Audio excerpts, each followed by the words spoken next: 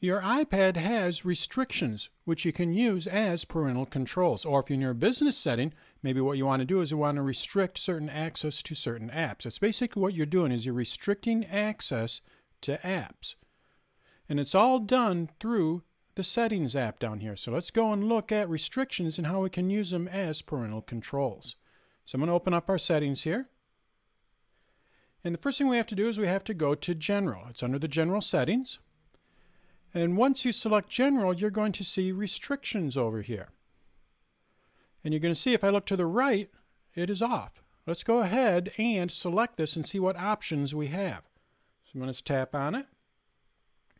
First thing we're going to do is we're going to enable restrictions. So I'm going to tap on this. And what's going to do is it's going to ask me for a code. So I'm going to enter in a four-digit code. What this code does is if someone wants to use Safari, let's say I were to block Safari, they have to enter the code. They have to go into restrictions and re-enable it. If they don't know the code, they're not going to be able to use Safari. The only way you're going to be able to use any of these apps, if you have them restricted, is if you know the code. So let's go and enable it. And I'm going to enter in a code here. One, two, three, four. It's going to ask me to put it in there twice to make sure I got the right code. All right. Now you're going to see I can go and turn on and off access to certain apps. And this includes Safari, the camera, FaceTime, iTunes, installing apps, deleting apps. So if you want to set it up to where someone can't go into Safari, all I have to do is tap on this, and now they can't get into Safari. And what it does is it actually hides Safari. I'm going to hit the home button here. And if you recall, I had Safari in the dock at the bottom. If you look, there's no Safari there. I have three apps. Let's go ahead and turn this back on. I'm going to hit settings here. And I'm going to go to restrictions. Enter the code. This is where you need to know the code. I'm going to turn this on. And now I hit the home button. And you're going to see I have Safari on the dock. So it hides the app altogether when you restrict that app.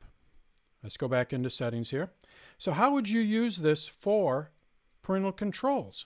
I want someone to get on the internet. I want them to use Safari. Well, what you do is you go to the App Store and you can download another browser that has parental controls built in it. Will block certain sites. So what you do is you turn off Safari, which will allow you to any site, and you download another app that blocks certain sites. And basically what you've done is you've enabled parental controls for websites. As you can see, I can turn on and off the camera access, FaceTime access, iTunes access.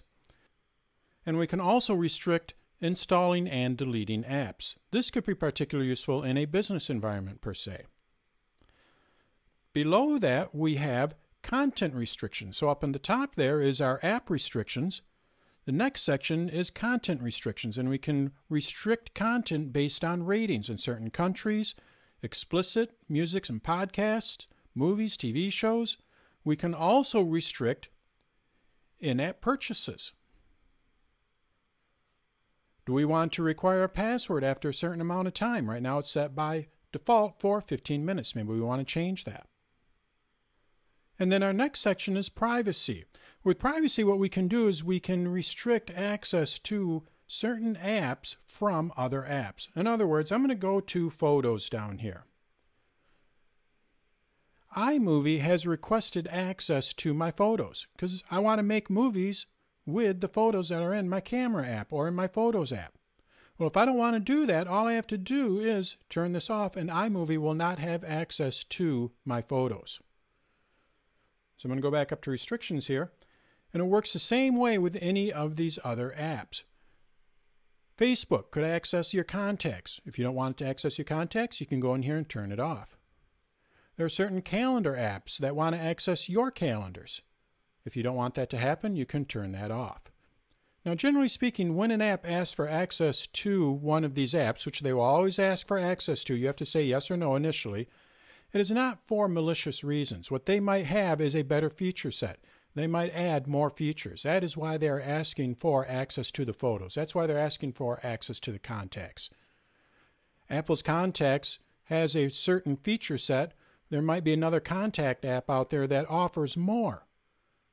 Bento Database offers more features, but what it wants to do is it wants to access your contacts so it can use that information in Bento. So you're going to see it under contacts here that Bento is accessing your contacts. That's why these apps ask for permission to access your contacts. It's generally not for malicious reasons. Apple has to approve every app. It is usually because they want to offer more features. And then down at the bottom, we can also restrict access to different accounts, such as our mail accounts or Find My Friends accounts. Maybe what I want to do is I want to set the volume limit, and I don't want anybody to change it. And down at the bottom here, we have Game Center. With Game Center, what we can do is we can restrict access to multiplayer games as well as adding friends. So you can see now how you can use restrictions for parental controls. All you have to do is just decide what you want to restrict access to, an app or data within an app, an account, or maybe even the Game Center. Now, if you do enable restrictions, what you want to do is you want to make sure that you don't hand out that four-digit code. Otherwise, they're going to be able to get by those restrictions. You also want to make sure that you don't forget that four-digit code. Otherwise, you're not going to be able to go in there and change the restrictions. So that's how you can use restrictions as parental controls on your iPad.